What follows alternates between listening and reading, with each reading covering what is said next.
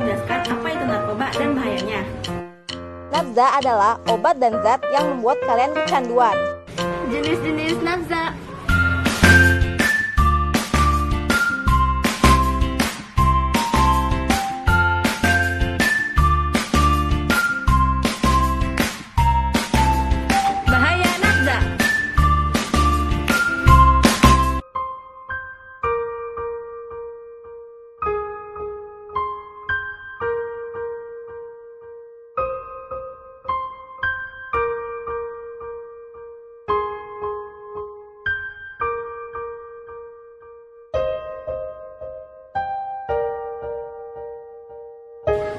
Surabaya banget